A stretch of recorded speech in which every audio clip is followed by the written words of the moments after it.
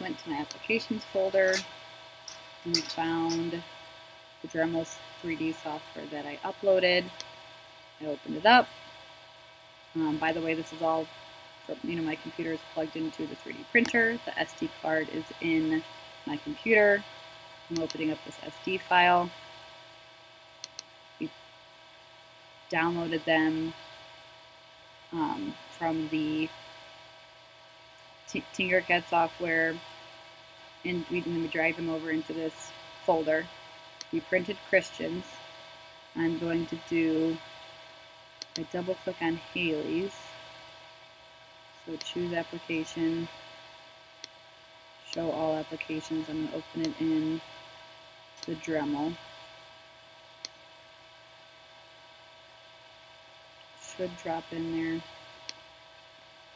Okay, so I dragged it over. Okay, so this is what she has. And then once I click build,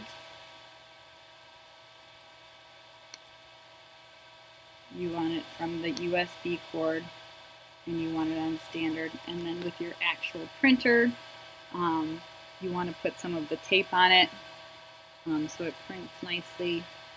And then once you print, once you press OK, that file will actually show up on the screen of what you're going to print, and you can unplug this from your computer.